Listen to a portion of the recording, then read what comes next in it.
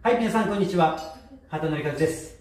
今日はですね、くびれ美人になるためのヒップアップエクササイズご紹介したいと思います。くびれ美人になるためには、ウエスト、ヒップ比がとても大事になります。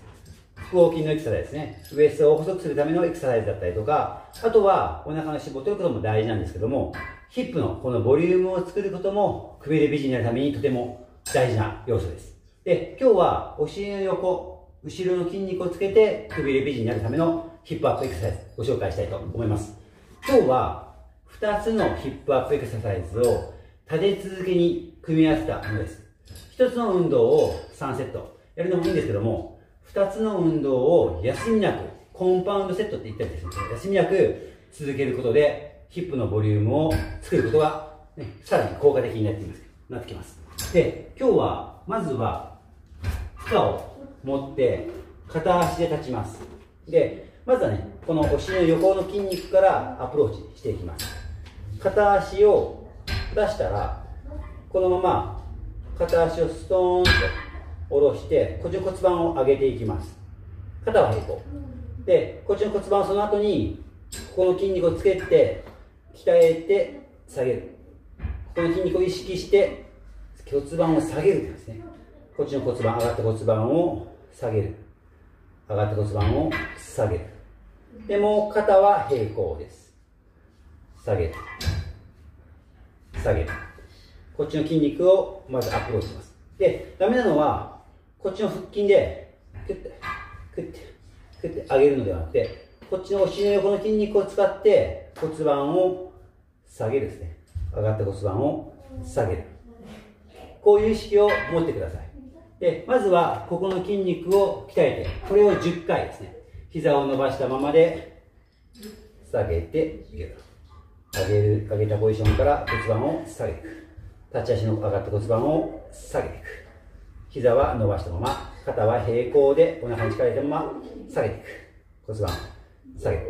これを10回やっていきます。ここにね、しっかり効いてくれば OK。で、今日はね、これ、あの、ケトルベルなんですけど、ダンベルとか何でもいいです。もうリュックでも何でもいいので、片手に持つことで、負荷がね、こっちに逃げるということがありますんで、こっちのね、横の筋肉を鍛えることができます。これが終わったら、片足のスクワット。片足のスクワットをしていきます。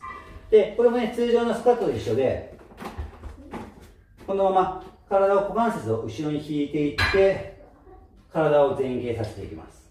で、ポイントはあんまり膝を曲げすぎると太ももに力が入りやすくなりますので、股関節を後ろに引いて体前傾して、お尻のこの筋肉がパツンと伸びてきたら、それでも切り返します。あんまり深くこうね、行き過ぎないですね。ここまで行っちゃうと、太ももにね、内転筋とか、あとの太ももの外側とかに力入りやすくなります。ですので、このまま股関節後ろに引いて体前傾させてお尻の筋肉が入ったら立ち上がるで重心はかかと側ですね。かかと側でこの台を踏ん張る地面を踏ん張る意識を持ってかかとで地面を踏ん張って立つ。かかとで地面を踏ん張って立ち上がる。という意識を持つとお尻に効いてきやすくなります。で、えー、と立ち上がる瞬間最後の瞬間にここから立ち上がる最後の瞬間に頭のてっぺんが天井から吊り上げられるような意識を持つとお腹のインナーマッスルも働きやすくなりますのでさらにねくびれ美人になりやすいと言えます。この2つこの2つを休みはですねこれを10回骨盤を下げ立ち足の骨盤を下げる。下げてここの横の中殿筋を鍛えた後に片足のすぐにスクワットを膝、つま先まっすぐで行っていきます。膝だけがね、こうかくんで入ったりしないように、これも前からと横側姿勢を確認してやってみてください。はい。今日はくびれビジネスさんのヒップアップエクササイズ。2つのエクササイズを立て続けに組み合わせるコンパウンドセットをご紹介しました。